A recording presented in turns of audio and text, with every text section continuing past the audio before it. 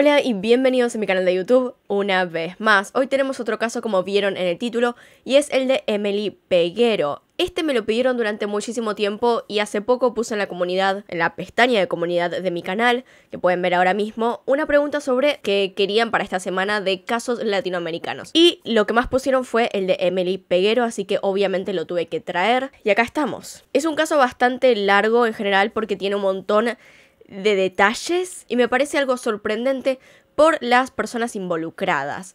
Realmente se van a indignar como yo me indigné al escribir este guion, como me indigné al ver las noticias y los testimonios, así que espero que les guste el video. Estoy un poco enferma, o sea que si notan como que no uso mucho la nariz, es por eso. Sigo enferma, tengo un poco de catarro, mmm, cosas de ese estilo. Recuerden que sigo pidiendo casos latinoamericanos, así que si quieren pueden poner un comentario abajo con el caso que quieren que haga. Y bueno, sin más, acá al costado tienen mis redes sociales y comencemos.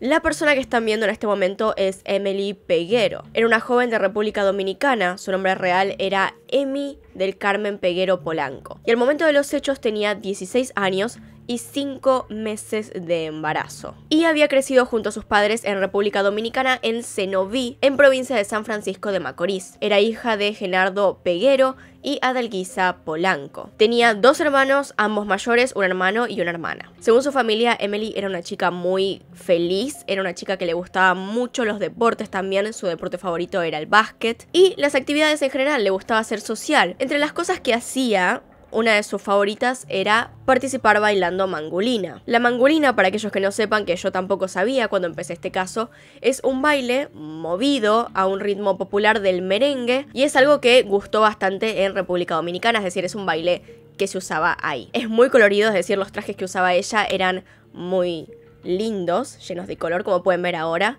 Probablemente tenemos algunas fotos. Y también aclaró que le gustaba el maquillaje, le gustaba usar vestidos, maquillarse los ojos en especial. Ella era Emily Peguero. La madre también nos cuenta, y esto es algo bastante doloroso en realidad cuando recordamos lo que es este caso, que ella quería ser abogada para defender mujeres en malas situaciones. Supongo que ella jamás se habría imaginado que esto le pasaría. Siguiendo un poco con la historia y ya adentrándonos en cómo empieza el caso, ella tenía un novio. Él es Marlon Martínez, de 18 años. Había una diferencia de dos años ahí. Ahora, no es que se conocieron en un baile o que se conocieron por amigos o lo que sea, sino que más bien las familias se conocían. Vivían en el mismo barrio desde que eran chiquitos, es decir, crecieron juntos. Les voy a contar un poco de Marlon, entonces. Marlon vivía en Estados Unidos antes de mudarse a República Dominicana. Él vivía junto con su padrastro y su madre, Marlene Martínez. El tema es que en un momento ya se divorció del padrastro de Marlon y entonces se mudaron al frente de la casa de Emily. Y es entonces cuando empiezan a crecer juntos. Y acá viene un detalle que me parece importante añadir ahora mismo, y es que Marlene supuestamente se llevaba muy bien con la familia de Emily aunque había una diferencia de clases sociales. Este no era un barrio en el cual tenías todo de una misma clase, sino que más bien era un barrio sin divisiones, había casas de todo tipo. Entonces, vivía la familia de Emily en una cuadra, con una casa normal, a Emily realmente no le faltaba nada, pero tampoco vivía de lujos, y después enfrente estaba la casa de Marlon Martínez y Marlene Martínez, que al parecer tenían una clase social más alta. Y esto viene también con el trasfondo de la vida de Marlene, la madre de Marlon. Ella era una ex diputada, que en el momento de los hechos trabajaba como subdirectora de pasaportes. Es por esto que cobraba sueldo de diputada y, bueno, que tenía una buena vida. De ahí viene la diferencia entre ambas casas y la diferencia entre sus vidas, al parecer. Marlene lo sentía así, aunque no lo demostraba. Su padre aparte era un general Y esta es solo una pequeña parte de la vida de estas dos familias. El cómo se llevaban, se llevaban bien, pero atrás había una diferencia que Marlene Martínez veía claramente y que después en el caso vamos a notar. Con el tiempo entonces Emily Peguero viviendo enfrente de Marlon Martínez se fue encariñando con él y después de un tiempo se volvieron novios. Así que eso es lo que tienen que entender por ahora, más tarde vendrán más detalles. Así que pasemos a la cronología del caso. El miércoles 23 de agosto del 2017, Emily sale a las 8 y media de su casa en Cenoví, provincia de San Francisco de Macorís. Sale acompañada con su novio Marlon Martínez a supuestamente una clínica a donde iban a ver resultados de análisis por lo del hijo. Esto fue lo que dijo Marlon Martínez que pasó que él fue a buscarla a la mañana con el auto a la casa bien bien temprano para buscar lo que supuestamente Emily le había dicho que eran unos estudios. La familia de Emily se había enterado desde hacía muy poco tiempo que lleva a tener un hijo y de hecho la apoyaban y es por esto que justamente habían ido a una clínica hacía pocos días a hacerse los estudios que supuestamente, según Marlon, iban a ir a buscar. Acá viene lo raro también, es que ya habían buscado esos estudios. No sé qué estudios más iban a poder ir a buscar, los estudios principales ya estaban. Más allá de eso, eso es lo que Marlon dijo. En ese momento cuando pasa a buscar a Emily, la madre estaba dentro de la casa y de hecho Emily le dijo que iba a volver al rato, que iba a volver en unas horas o pronto, porque aparte ya tenía escuela, no es que podía andar faltando. Sí podía ir a buscar los resultados de análisis o ir al doctor o lo que sea, pero tenía que volver. El problema viene justamente cuando unas horas después, cerca del mediodía, Marlon aparece sin Emily. La primera explicación que Marlon le da a Dalguisa es que él le iba a llevar a buscar estos estudios o iban a hacer algo y que de repente Emily se acuerda de que tiene que hacer algo, entonces le pide a Marlon que la deje en un lugar. Él tampoco pudo explicar con quién la había dejado, porque según Emily ella se tenía que ir con otra persona, a hacer algún mandado, a hacer algo. Él no puede explicar con quién se fue. A la vez que pasaba esto, la hermana de Emily estaba recibiendo mensajes que decían, de parte de Emily, que Marlon la había dejado en un cruce, en una bomba, ahora les explico bien qué es, y que se iba a hacer algo con un tío. La bomba, este cruce, es una estación de servicio, una estación para cargar gas, como le digan en su país, donde van motos y autos y era un cruce bastante conocido, era uno que la familia ya conocía de nombre. Entonces, supuestamente según Marlon, él la dejó en este lugar y se fue con una persona en una moto. De ahí viene el que no pueda reconocer con quién se fue. Les recuerdo que la madre de Emily sabía que ella estaría volviendo en un rato, que no se iba a ninguna parte lejos y que simplemente se iba con Marlon. Jamás mencionó nada de irse a hacer ningún mandado y aparte qué mandado tenía que hacer.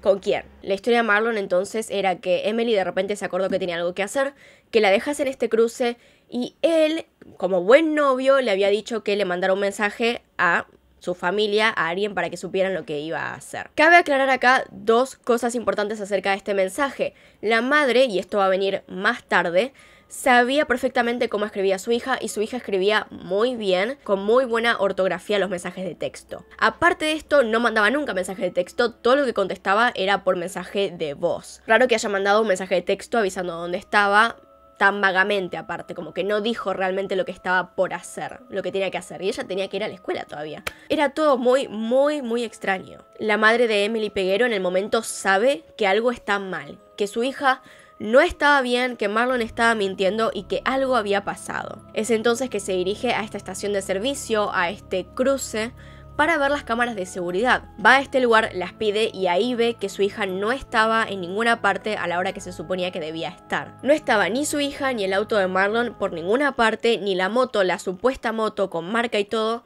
que Marlon le había mencionado. Para el ojo público, esta noticia ya estaba empezando a tomar vuelo, ya estaba empezando a ir de canal en canal y el 24 de agosto justamente estas dos personas, Marlon Martínez y su madre, Marlene Martínez, se unen supuestamente a la búsqueda y aparecen en un canal de televisión contando un poco sobre Emily y pidiendo que vuelva. Porque su historia, recordemos hasta ese momento, es que se fue con otra persona, entonces que se fue por voluntad propia. Y esta es la entrevista más famosa que hay sobre el caso. Hay muchas cosas que la gente comenzó a destacar acerca de esto, acerca de lo que estaba pasando mientras veían las caras de estas dos personas. Y recordemos también que esto es un día después de la desaparición, es decir, al instante fueron a la televisión. Entonces vean, Marlon en ningún momento llora, tiene esa cara de nada durante toda la entrevista, todo el tiempo que está hablando. A veces se cubre la cara, pero eso no significa absolutamente nada. Habla todo el tiempo como robot, como si estuviese leyendo un guion palabra por palabra, como si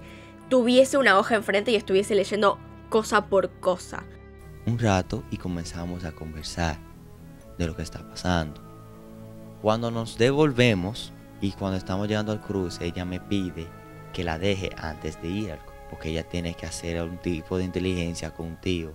Sin expresión alguna. La madre, sin embargo, de Marlon tenía un poco más de sentimientos, se mostraba un poco más afectada por la cosa e incluso llegó a llorar en un momento de la entrevista.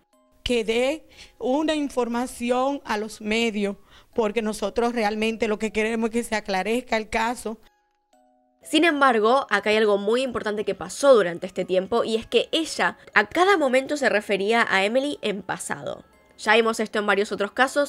Cada vez que se refieren en pasado la gente duda. ¿Por qué? Porque inconscientemente saben que algo pasó. ¿No? Porque si estás buscando una persona que está viva, estás todo el tiempo como es, es, no, fue una buena persona, estaba embarazada, tenía 16 años, no, no, tiene 16 años, está embarazada de 5 meses, etc. Ellos no. Eh, ella era la novia de mi hijo, eh, la es la novia de mi hijo actual, eh, ella era la novia de mi hijo, la es la novia de mi hijo actual. Marlene se refería a todo en pasado. Y había pasado un solo día. Si pasa una semana, bueno, está bien. Un día había pasado desde que Emily supuestamente había desaparecido. Esta rueda de prensa fue un desastre. Las caras, un desastre.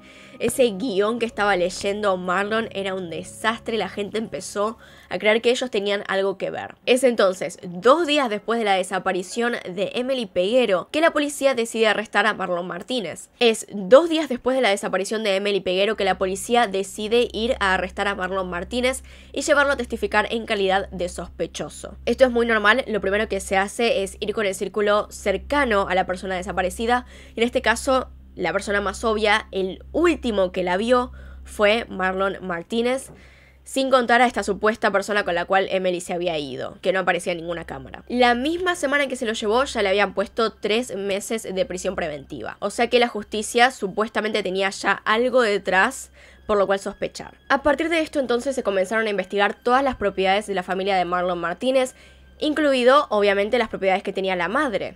No tenían solo esta casa enfrente de la familia de Emily Peguero, sino que también tenían un departamento en un complejo muy lindo. Este era un departamento en el cual normalmente nadie vivía, es decir, Marlene por ahí a veces lo alquilaba, pero en ese momento no tenía nadie viviendo ahí. Resulta que cuando entraron a comprobar este departamento, dentro encontraron llenos de sangre, un colchón y algunas toallas. Evidentemente, algo había pasado y evidentemente algo estaban ocultando. Porque también debo decir que hay una gran coincidencia acá y es que unos días antes, un día antes, Marlene le dio las llaves de este departamento a Marlon. Entonces, ¿por qué? Porque de repente tenía las llaves de este lugar? que quería? ¿Usarlo para conversar con su novia? ¿Y por qué ese día, cuando supuestamente él tenía en mente ir a buscar unos resultados de análisis. Y es acá cuando entramos en los detalles de las declaraciones. Recordemos lo que estaba diciendo Marlon anteriormente, lo que supuestamente para él pasó, que fue que pasó a buscar a Emily por unos exámenes y la dejó en otro lugar. Una de las mayores declaraciones, aparte de esta, es la del portero de ese edificio en ese complejo. La persona que están viendo ahora mismo es el portero del edificio, y este hombre, una vez que la policía lo llevó declaró absolutamente todo lo que sabía. Y vamos a ver que es muy diferente a la nueva historia que Marlon estaba contando. Ella había decidido decir un poco más de lo que había pasado ese día y entre esas cosas relató un poco lo que había pasado en el edificio, que él había llevado a Emily hasta este lugar, que usaron las escaleras para subir, no el ascensor porque estaba roto, y que ella se sentía muy mal desde el primer momento. Él había dicho que Emily estaba teniendo un dolor en el estómago y que no sabía muy bien qué era. Quédense con ese pequeño dato de la declaración, una partecita breve, porque lo que dice el portero es un poco parecido, pero de repente da un giro importante. Este hombre los vio entrar a Emily y a Marlon juntos al edificio y también los vio subir las escaleras. Normal hasta ahí porque el ascensor estaba roto. Lo que dice este hombre es que Emily estaba bien, no tenía ningún dolor, no parecía que tuviese ninguna dificultad para caminar, que una cosa que Marlon había dicho que tenía, que le era difícil subir las escaleras y que se acordaba que Emily se quejaba cada dos minutos porque no podía subir. Pero la peor parte de estas declaraciones es que dos horas más tarde, casi dos horas, el portero lo ve a Marlon bajar con una bolsa, con un saco. Lo vio con dificultad bajar las escaleras arrastrando este saco con algo que parecía muy pesado. Y es ahí obviamente que notó que algo raro estaba pasando. Ahora, en ese momento no intentó hablarle un poco para ver más o menos si se sentía nervioso o lo que sea, pero más tarde hizo algo que a una persona normal le parecería bastante bien, pero parece ser que le salió mal. Él fue a la madre de Marlon, a Marlene, a decirle lo que había pasado y a mostrarle las cámaras de seguridad.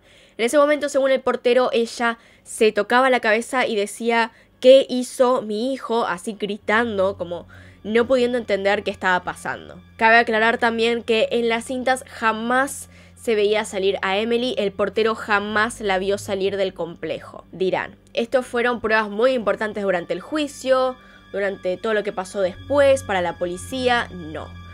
Porque las cámaras de seguridad, las cintas, jamás se encontraron, desaparecieron. Según Marlene y el portero les habían dicho que la policía las había ido a buscar, pero la policía no las tenía. Y aparte de esto, la puerta de la habitación donde se veían estas cámaras había sido forzada. Este hombre había sido arrestado para tomarle el testimonio el 29 de agosto y el día siguiente, el 30, se arrestó a Marlene Martínez en su finca. Y acá viene el famoso dicho que la televisión recordará por siempre, y es que le preguntaron qué había hecho, y lo que contestó es que actué como una madre. ¿Usted actuó como cómplice en el No, jamás, yo actúo como una madre. Es una semana después de la desaparición, un poco más de una semana después, el 31 de agosto, que se encuentra algo que la familia de Emily no quería encontrar, pero que sabían que encontrarían. Al costado de una ruta alguien vio una maleta y dentro de esa maleta en una bolsa estaba el cuerpo de Emily Peguero. Pronto se confirmó que en efecto era Emily y su hermano publicó en todas las redes sociales que era ella. Y acá viene la parte más importante, porque lamentablemente, aunque no pudieron encontrar a Emily con vida, aunque la familia no pudo ir a tiempo en su búsqueda, o que lo hicieron bastante rápido, al menos podían encontrar a los obvios culpables.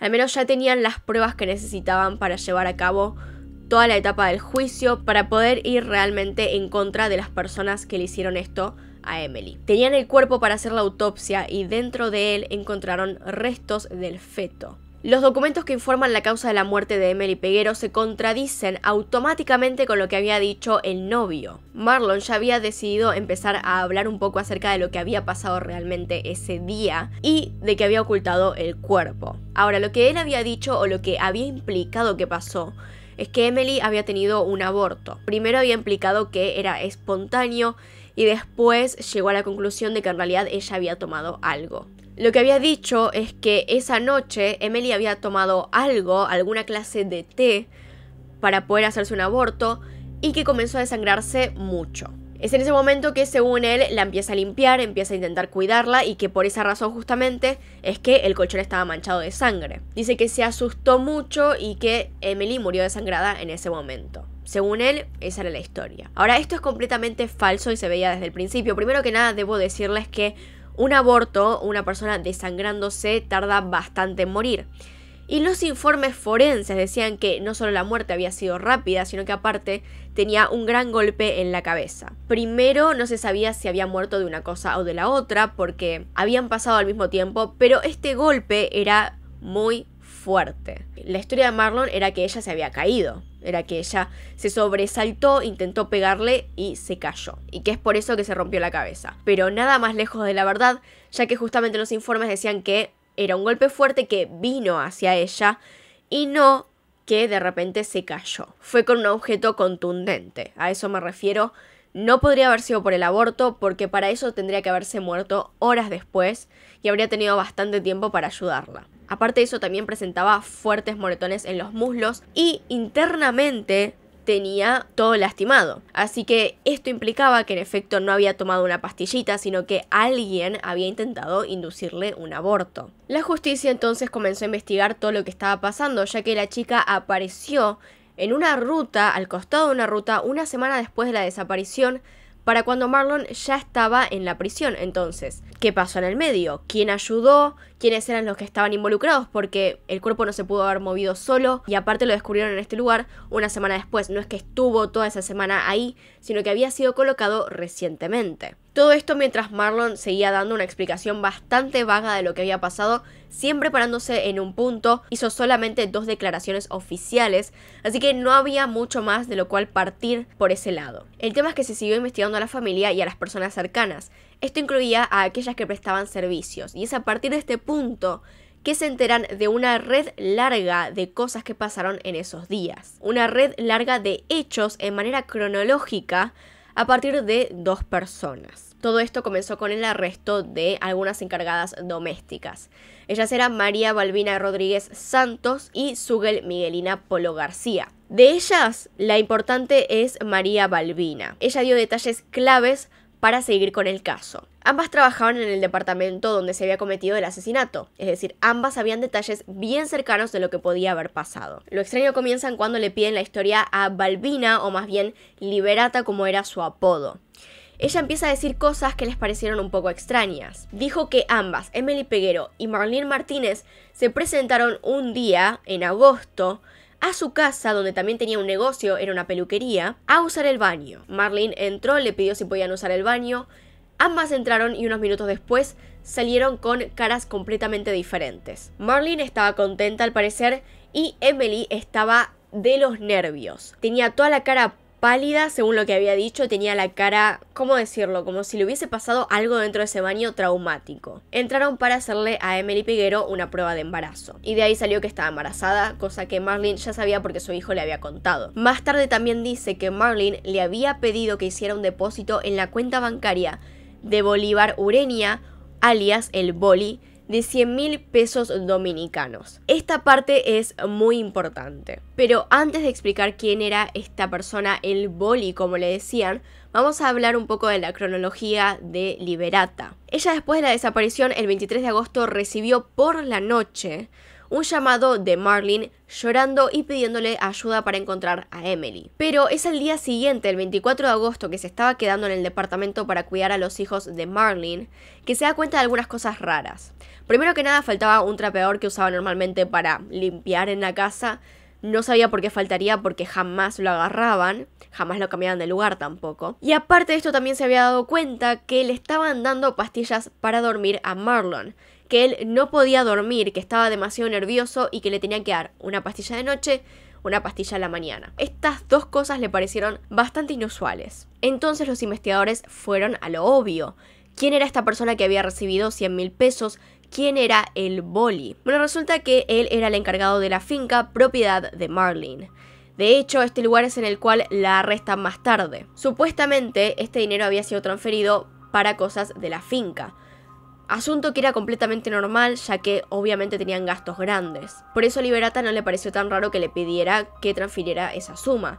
Simplemente es algo que cuando la interrogaron dijo, sin pensar que era algo demasiado extraño. Y es en este momento que arrestan a Bolívar para pedirle testimonio. Lo que tuvo para decir fue clave, en este caso fue definitivamente lo que dio vuelta a absolutamente todo. Bolívar dijo que Marlene se contactó con él durante la madrugada del 24 de agosto y en minutos estaba en su casa llegando a eso de la 1 y cuarto AM. Le llevó a su hijo Marlon y enfrente suyo le dijo que se había metido en problemas y que necesitaba ayuda. La historia que Marlon le contó en ese momento es que Marlon estaba en el departamento junto a su novia, Emily Peguero, y que de repente ella intentó pegarle porque estaban discutiendo, él se intentó defender y entonces Emily cayó al suelo y se desnucó. Eso es lo que él le dijo que había pasado. Entonces siguieron la conversación en la finca. Fueron hasta este lugar para comprobar qué es lo que podían hacer por el chico. Marlene decía que su hijo no podía ir a la cárcel y que el plan sería que se fuera a Nueva York antes de que empezaran las investigaciones. Como dije al principio de todo esto, él durante un periodo de su vida vivió en Nueva York, así que no sería demasiado raro que volviese allá y se tendría que quedar ahí hasta que pasaran las investigaciones,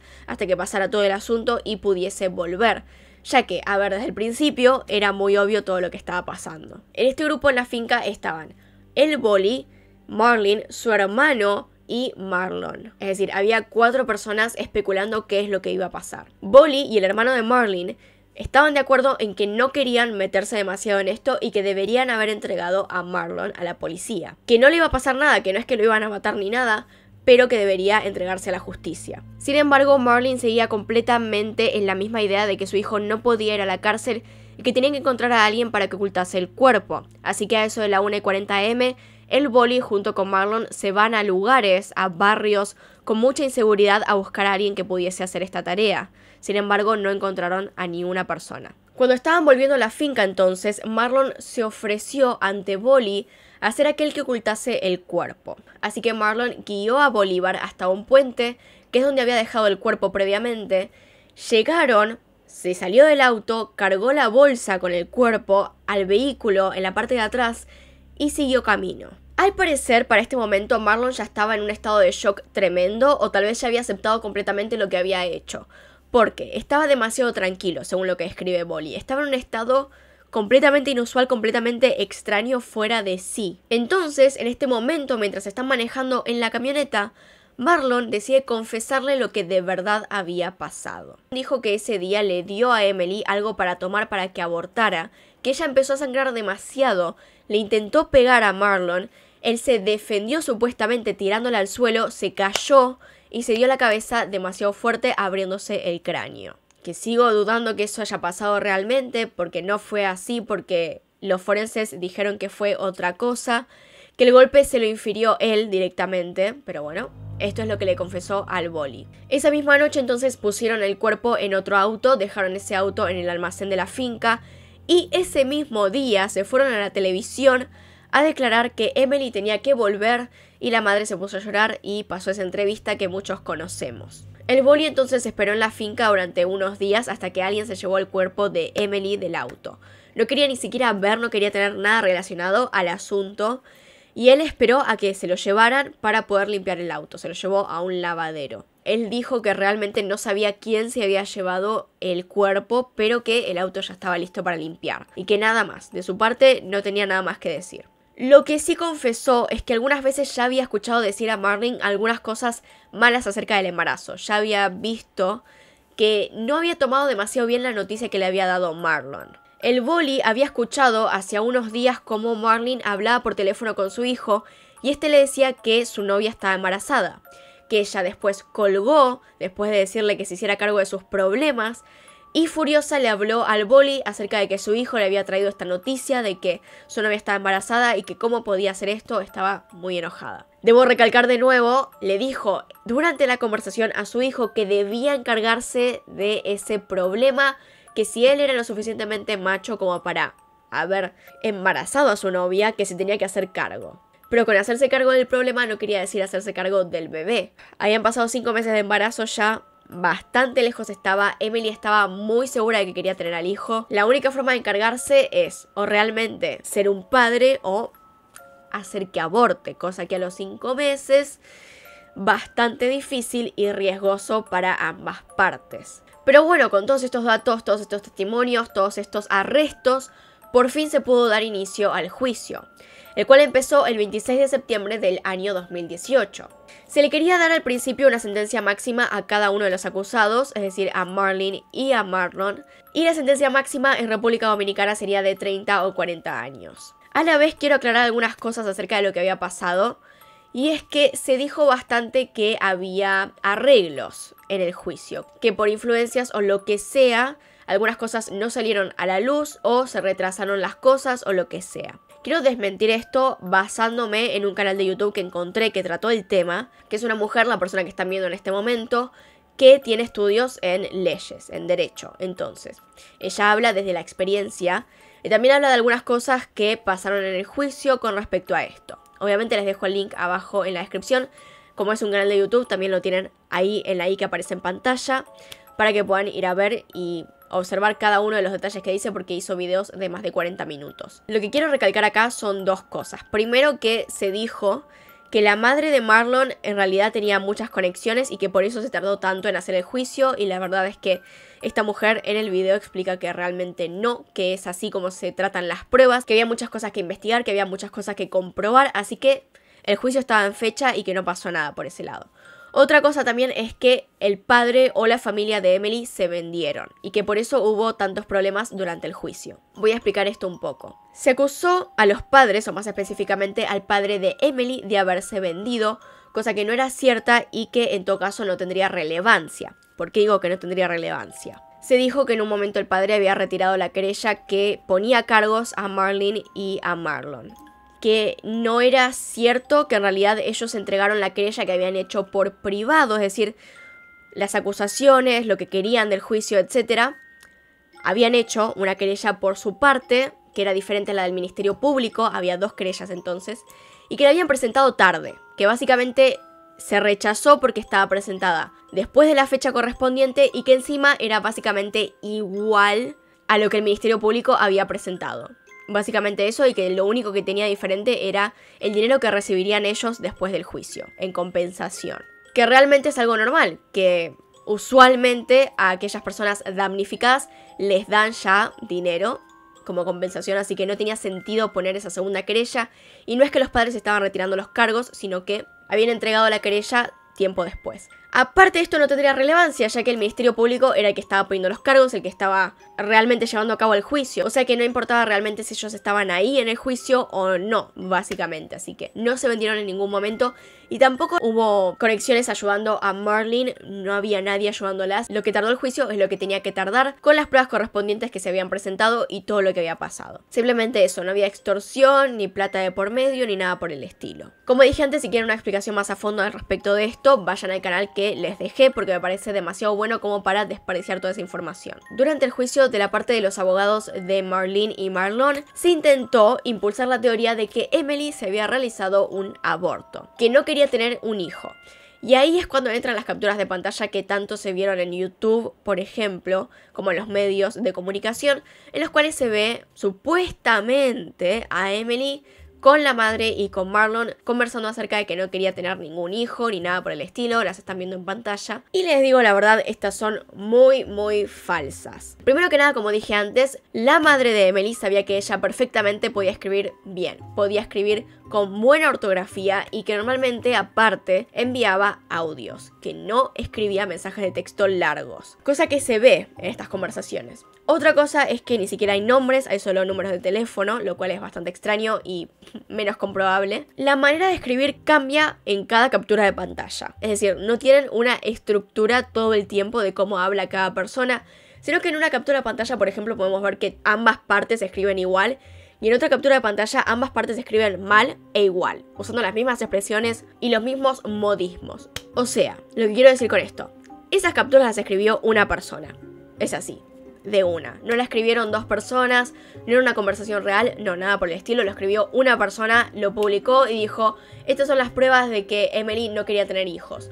Cuando la madre dijo en varias ocasiones que ella estaba muy muy contenta, que ya había decidido el nombre de su hijo y que no podía esperar para tenerlo en sus brazos. Pero esto es lo que se intentó decir en el juicio, que ella se había intentado hacer un aborto y que por eso después fue al departamento desangrándose. Aparte de esto, la madre de Emily también tuvo en cuenta el hecho de que si su hija hubiese querido hacerse un aborto, cosa que ella ocultó el embarazo durante cinco meses de su vida, lo hubiese hecho en el primer mes o en el segundo mes como mucho. Es decir, hubiese intentado resolver eso desde hace un montón de tiempo. No hubiese esperado a los cinco meses y a desangrarse en la casa de su novio. Como dije antes, Emily presentaba heridas en su cuerpo internas que demostraban que había sufrido de un aborto inducido, que alguien la había intentado hacer abortar. Y tenía ese gran golpe en la cabeza que no era por haberse caído, sino que era porque alguien la había golpeado, que se había confundido bastante con cuál era la verdadera causa de la muerte. Más allá de todo lo que acabo de decir, también había pruebas contundentes acerca de quienes habían cometido el crimen, aunque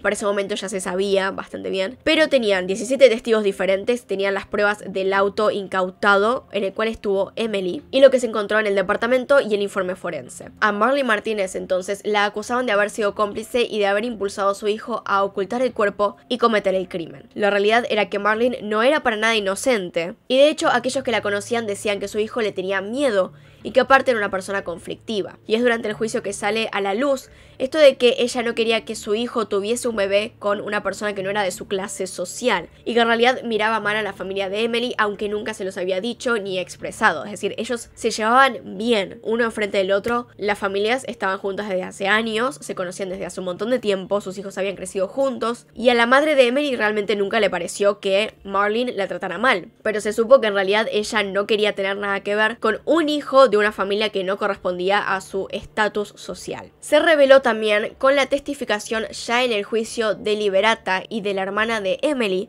que el 19 de agosto de ese año, Marlene se había presentado en la casa de la víctima bien de mañana sabiendo que sus padres no estaban, que le dijo a la hermana de Emily que la llevaría a hacer unos mandados, que tenían que hacer algo y que así bajo esa mentira se la llevó a la casa de Liberata y le hizo el test de embarazo. Ese mismo día entonces Marlene fue hasta la casa, vio a los padres de Emily y metió a Adalguisa en una habitación para gritarle indignada por el embarazo del cual por cierto la madre no sabía nada hasta ese momento. Esto de nuevo es el 19 de agosto. Es entonces que planean la cita con el ginecólogo para hacer los exámenes correspondientes. Y es acá cuando volvemos a la cronología del caso que ya conocemos. Todo esto pasa días antes de la desaparición, el 23 de agosto. Aparte de esto, lo que se dijo durante el juicio es que Marlene no podría haber tenido nada que ver porque durante el 23 de agosto, es decir, todo el día de la desaparición, ella no había estado en la ciudad. ¿A qué me refiero con esto? A ver, ella, durante todo el 23 de agosto, ese día que le dio las llaves a su hijo del departamento, ella estaba en otro lugar, lejos, con la abuela de Emily haciendo cierto papeleo. Ella no estaba ahí para ocultar ningún cuerpo ni ser partícipe de todo esto. Aparte después dijeron que el 30 de agosto ya la habían arrestado, así que que no pudo hacer demasiado en esos días. Pero durante este juicio y basados en esto también se quiso llegar a la conclusión de que en realidad estaba todo premeditado, que Marlon se había bajado del auto junto a Emily y que aparte había bajado una bolsa y que se podía comprobar gracias a una cámara de seguridad que estaba en otro complejo al lado del del departamento de Marlin. Habían logrado sacar las cintas esas de seguridad del complejo donde estaba el departamento, pero no podían con los otros edificios. Aún así, estas filmaciones en las cuales se ve el auto de Marlon, a Marlon y a Emily salir de él, son muy borrosas y no se pudieron usar para realmente establecer pruebas. Sin embargo, para el resto de la gente, para aquellos que veían la televisión, sí son pruebas. Ya se sabía que estaba premeditado, que para algo había decidido llevarla a este departamento y que había supuestamente bajado la bolsa en donde después la puso, el saco este.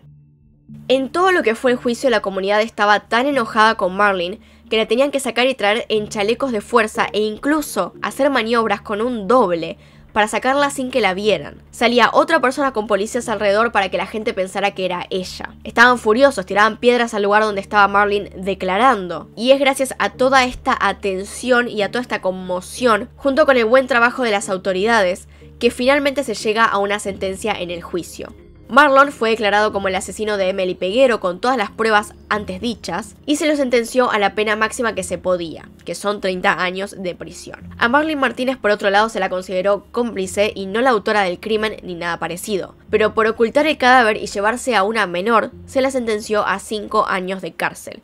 Obviamente aún así todos estaban indignados 5 años es muy poco, pero es aún peor ahora. Como en cualquier caso, como en cualquier sentencia, ambos tienen derecho a apelar para poder reducir la sentencia o irse libres. Así que los dos decidieron apelar su caso. A Marlon se le rectificó una vez más que tendría que dar los 30 años de prisión por ser el autor del crimen, pero a Marlin le sacaron tres años de sentencia. Esto pasó en mayo de este año, del 2019, así que es bastante, bastante reciente. Y aún así, dentro de todo esto, también todavía tiene que ir con chalecos por todas partes porque realmente la gente la detesta. Y dentro de todo, en realidad, se pudo hacer esto porque no hay pruebas reales de que ella haya tenido algo que ver solo hay testimonios, entonces al no haber ni una cámara ni nada que pueda comprobar que ella estuvo en los lugares donde estaba el cuerpo, no podían probar que tuviese algo que ver o que hubiese influenciado en Marlon, porque él sigue diciendo que su madre no tenía nada que ver. Aún así le quedan dos años todavía por cumplir y se va a tener que mudar a otro país porque realmente dudo